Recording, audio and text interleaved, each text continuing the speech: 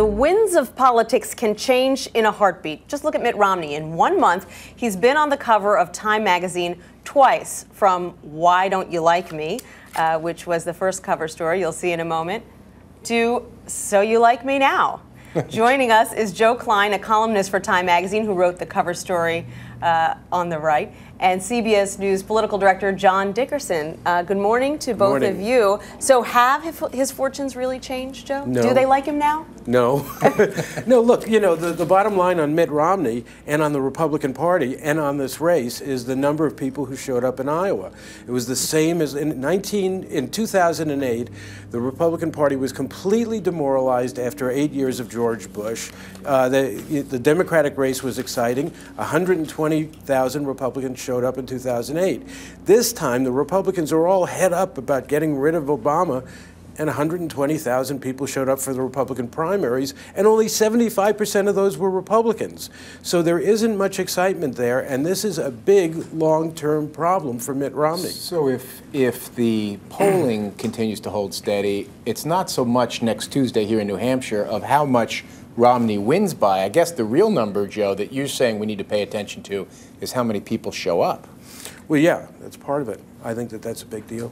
What, what should we look for this weekend? A couple of big debates uh, coming up, and I would imagine there's been enough uh, sparks being thrown around so far that we should see some fireworks on stage, John? Sure. Well, you've got a number of candidates who have to do, uh, have to either knock Mitt Romney down or present themselves as the plausible alternative to Mitt Romney. Now, the trick here is, uh, do you, when you're going into these debates, do you, you go, the problem with going after Mitt Romney is sometimes you can hurt yourself and help other candidates. You look sort of overmodulated on the, in these debates. So it's very tricky. And you also have to, one of the things a lot of candidates try and do in the debates is present themselves as pleasant candidates. And so that's a very difficult balancing act in these debates, which are, you know, where you only get a minute to talk.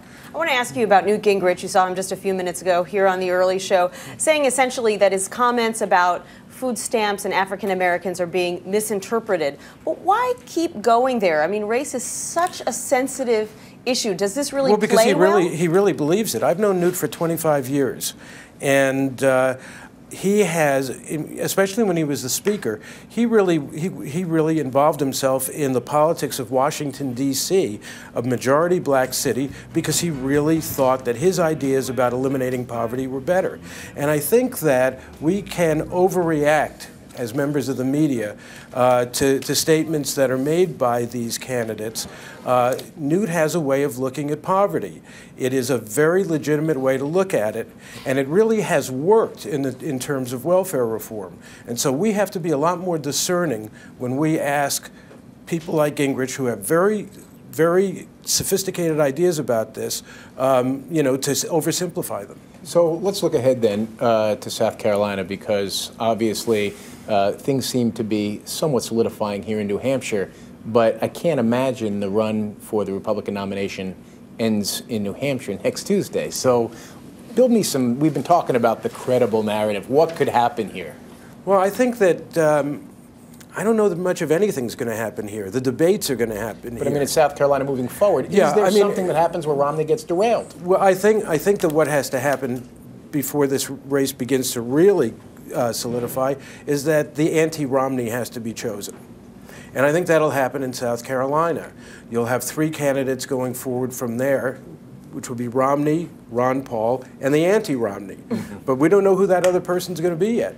And what Romney hopes is that what basically South Carolina is a version of what happened in Iowa, that it's a muddle, that there is no anti-Romney, that the anti-Romneys of Perry Gingrich and Santorum all kind of split their vote, and that there is no plausible alternative to him, and that that can't that question can't get worked out. A lot of people are trying to figure out who the alternative is, but it doesn't get worked out, and then all of those candidates essentially run out of money. Got it. John Dickerson, Joe Klein, thank you so much for helping us sort it all out this morning. Really appreciate it. Thanks,